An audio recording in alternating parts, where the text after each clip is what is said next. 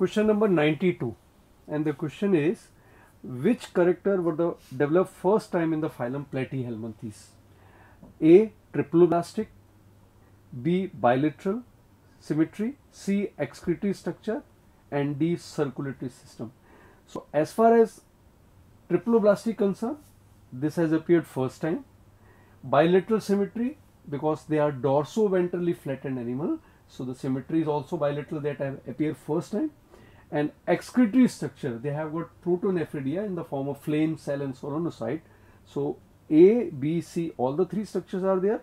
But the circulatory system has developed first time from the phylum annelida so in that way if you look the all the four options so you will find a b c in answer is 4 okay? So this part is answer is 4 as far as question number 92 is concerned now answer is 4 okay?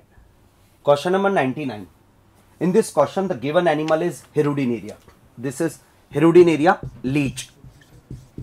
And this animal belongs to phylum annelida. Annelida. In this first point is triploblastic bilateral symmetry. Yes correct. Annelids are bilateral symmetry second point is metamerically segmented and coelomate yes correct. Annelids are true segmented and true coelomate animal so hirudinaria is true coelomate animal. Third point dioecious. Wrong. Hirudinaria is monoecious animal. Fourth point number of body segments are fixed. Yes this point is also correct because in this animal number of body segment fixed almost 33 segments. Fifth point lateral appendages parapodia present. Wrong parapodia present in annelida but in Nereis animal not in hirudinaria so in this question first point correct second point correct third point wrong fourth point correct fifth point wrong so correct answer is fourth so answer is fourth because three are correct statements. Question number 102. Which one of the following is correct match of the structure and animal? The first option is Pila, Parapodia. See the Pila is a mollusk and the mollusk has a locomotory organ as muscular foot whereas it is written Parapodia and Parapodia is a lateral appendage of Nereis. So this option is not correct one. Anopheles, coxal gland we know the coxal glands are found in the arachnids that in scorpions. So Anopheles, this combination is also wrong. Third is Ascaris musculopharynx.